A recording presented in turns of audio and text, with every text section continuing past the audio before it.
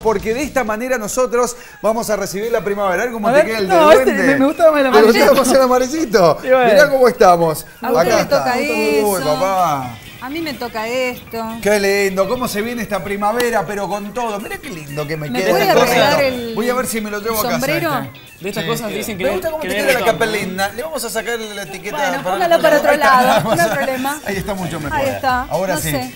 Linda manera de festejar, Usted ¿eh? es mi asesor de... Sin duda. ¿Qué tal? Te queda Desastre. linda, te queda... Parece que le queda bien ahí con él. Uh, te quiere tapar el face. bueno, Mire, no le Pablo. todavía el formato a Déjelo la ahí, capelina. déjelo ahí, Ahí no queda. toquemos nada, por favor. Eh, ¿Le quedan cosas a usted? Sí, vamos a compartir eh, una breve nota con Jessica Sirio, luego de las acusaciones ¿no? que ha tenido la modelo en el país vecino de Paraguay. de duende, sobre el intendente, ¿no? La trató de prostituta, pero bueno, No. sigue Sí. La relación con Paraguay, Argentina-Paraguay, hoy más que nada tensa, después de lo sucedido con Moria Kazán también, ¿no? Así que Jessica Sirio habla en la siguiente nota que dio para primiciasya.com. Primicias, bueno, recién volví de Las Vegas, de Miami, contanos cómo fue el viaje, la histórica pelea de Maravilla. Impresionante, creo que uno de los espectáculos más lindos que vi en mi vida. Eh, te encontraste con Susana, con Franchella, muchos argentinos alentando a Maravilla. Argentinos alentando y la verdad que fue una pelea impresionante, única, duró casi 12 rounds, fue de mucha adrenalina, de mucho placer. Bueno, un viaje de mucha felicidad, pero al volver te encontraste con este lío de Paraguay. ¿Qué pasó? ¿Cuál es la reflexión?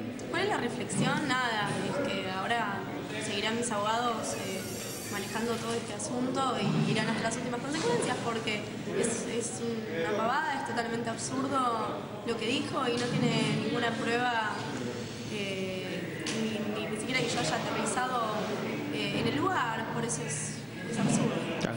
¿Cómo te afecta esto laboralmente? Si es que te afecta. La verdad me, me afecta de modo personal, de, de modo anímico, pero bueno, son gajes de los que tengo que aceptar y, y tengo que estar bien parada porque no, no, no, no, no cargo con ninguna culpa. ¿Y tu familia cómo se tomó esto? Eh, y mal, obviamente a mi familia le, le afecta porque este, como todo, eh, toma un, un nivel mediático que, que no se mide, salió absolutamente por todos lados. Eh, pero bueno, nada, acá estoy yo entera, parada y diciendo la verdad y las cosas como son. ¿Existe alguna pica entre Paraguay y Argentina? El escándalo de Moria, ahora esto, como que pinchan. Mira, la verdad no me voy a ¿Un poco? meter, no lo sé.